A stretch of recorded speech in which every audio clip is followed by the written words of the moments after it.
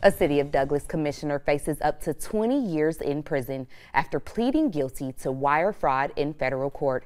Good evening, everyone. I'm Mackenzie Petrie. According to the plea agreement, that could also be followed by three years of supervised release, a $250,000 fine, and forfeiture of assets. City of Douglas Commissioner Ken Taiwan Durham pled guilty to submitting a loan application through the Payroll Protection Program, also known as PPP loan loan application that contained false statements about a sole proprietorship. And according to the agreement, he, quote, agrees that he is in fact guilty of this offense.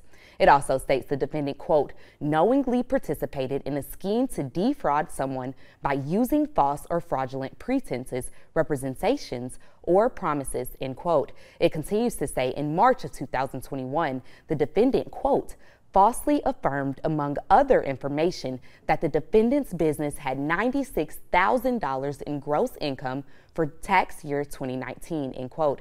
And lastly, quote, in reliance on the false representations made in the defendant's PPP application, Capital Plus Financial deposited $20,075 into the defendant's bank account, end quote.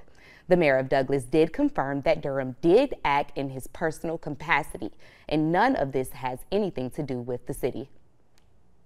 The city of Douglas is a we and a us community.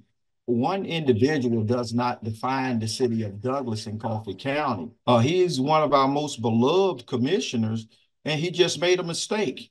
And we're going to rally around him and do what we need to do to support him to get him through this. According to the plea agreement, the government will recommend that the defendant be sentenced to a term of probation at sentencing. I did reach out to Commissioner Durham and he declined to comment today, but he says he will be reaching back out to me soon for a comment.